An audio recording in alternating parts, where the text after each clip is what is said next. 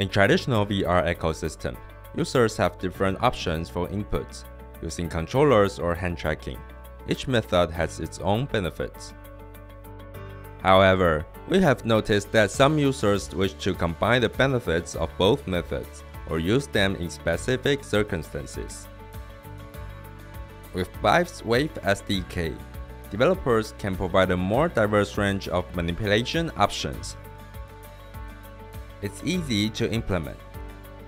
Developers who want to enable one-hand one-controller functionality in their content can activate this feature in engine editor panel such as Unity or Unreal. Once the setting is selected, the headset will be able to receive input from one hand and one controller, enabling unique interactions in the app. For example, in the game Minstrel, people play as an orchestra conductor, using one hand for gestures and the controller for the beating.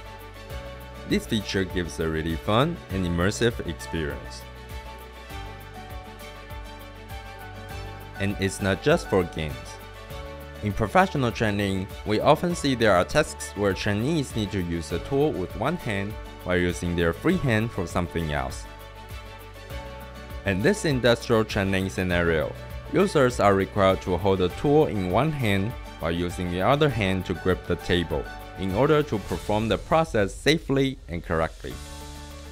This approach helps trainees effectively learn safety, operations, and professional skills reducing the risk of accidents during real-world operations. If you are interested in setting up one hand one controller with Wave SDK, please check the link in the description to learn more.